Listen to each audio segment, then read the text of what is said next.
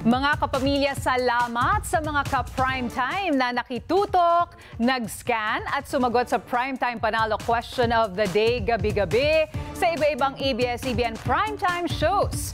Ang huling primetime panalo question of the day ay lalabas sa linggo ng gabi, March 24 sa The Voice Teens. Lahat ng daily draw entries na may tamang sagot mula February 19 hanggang sa linggo ng gabi, kabilang rin ang mga nakisagot sa special poll ng TV Patrol noong March 4 ay pasok sa grand draw. Ia-announce ang winner sa Primetime Bayan hosted by Melay Cantiveros Francisco at Jenica Garcia.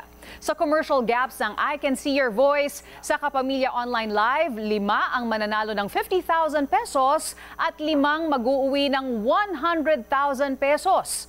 Ngayon pa lang, congratulations na sa mga mananalo. Tuloy-tuloy po ang ating pagpapatrol sa bayan mula lunes hanggang biyernes sa TV Patrol. Alas 6.30 ng gabi hanggang Sabado at Linggo sa TV Patrol Weekend. Sa bago nitong oras, alas 5.30 ng hapon.